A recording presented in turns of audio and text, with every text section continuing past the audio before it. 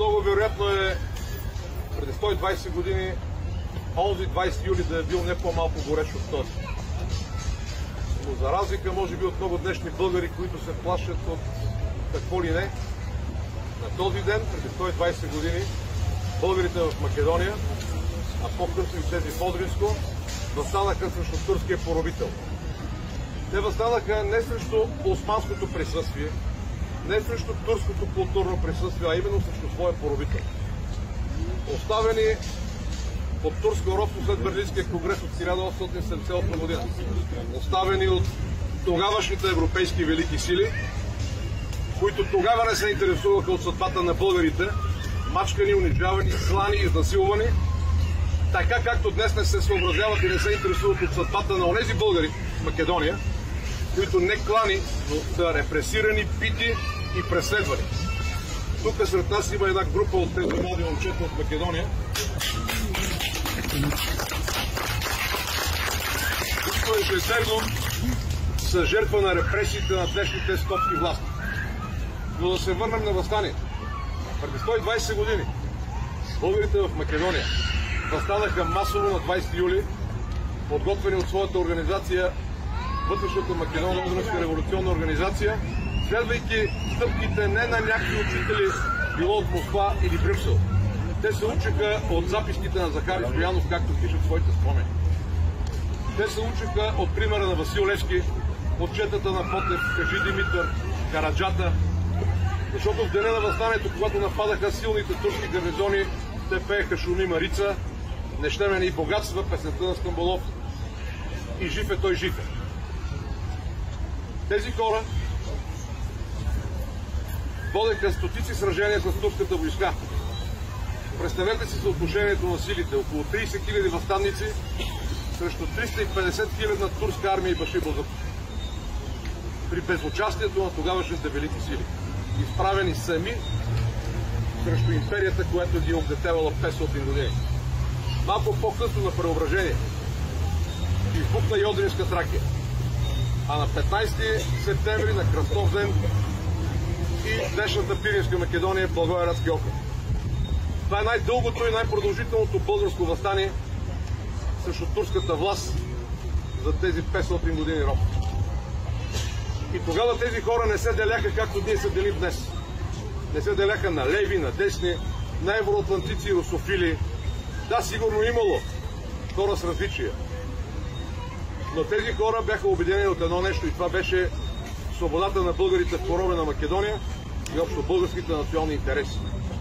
Те не се караха както днешните политици се карат дали обичат повече Русия или Америка, а забравят, че като български политици трябва да обичат преди всичко България. Тези хора възстанаха и в тяхна помощ им се притекоха над 1500 българи от свободна България. Ученици, студенти, войници, 48 български офицери, начало с един генерал, един подполковник и множество капитани, поручици и подпоручици. Именно те оглавиха четите на революционната организация и водеха боевете срещу Турция. Тези хора възстанаха и умираха, жертвайки най-скъпо с живота си. А след възстанието и неговия погром, една най-малка част бяха принудени да напуснат Македония и Одринска Тракия и да дойдат в пределите на свободна България. И ние днес се намираме в парка на Рион и Линдън, един парк, който е един от най-добрите в София и благодаря на господин Кмета за това, че го поддържа в този вид. Но тук този квартал, този район и още няколко други в София са изградени и населени именно от тези беженци от Македония, които бягаха от 1903 година възстанието, след 1913 година между война и годините след това.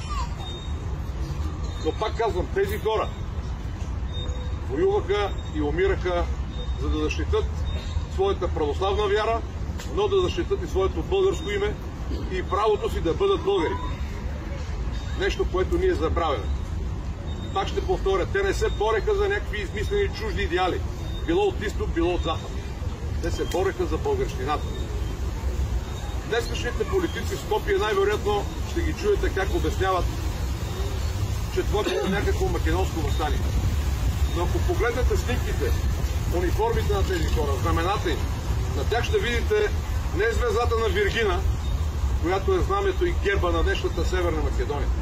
Ще видите не петолучката, която създаде македонската нация и Тито е наложи с кръв в Македония. Там ще видите българския лъв, ще видите цветолета бяло, зелено и червено. И когато днес отбелязваме Илинденското възстание, нека да не забравяме и тези хора, които днес живеят в Македония. Ние сме длъжници към тези хора. Длъжници, защото нашата бюрокрация десетилетия наред гледа на тях като едни натрапници, които идват да молят за нещо. А те молят за нещо, защото България ги е изоставила. След 1944 година сам до ден днешен България ги е изоставила на произвола на съдбата. Съгласява се да прави компромиси с техните права. Съгласява се да прави компромиси с техния живот. В името на това някой да ги потупа по рамото, както чухме от един запис, посолството или посолствата. И това е позора на нашето време. Не можеш да изграждаш модерна българска държава и да говориш за български интерес, ако не се интересуваш от интереса на обикновения българин.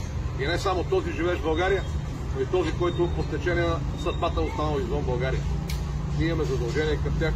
И когато днеска празнуваме и слушаме тези хубави песни от Македония, нека си спомниме, че тези песни са пяти и измислени на времето с много жал и тага. Именно от тези преследвани нашите народници, бити, убивани и прогонвани. Но въпреки това, нека все пак да кажем и честит празник, защото както се пее една песен, и Линден за нас българите е велика. Честит празник, но нека не забравяме и саможертвата на героите, но така и да не забравяме онези българи, към които все още имаме дълг да защитаваме техните интереси и права. Благодаря.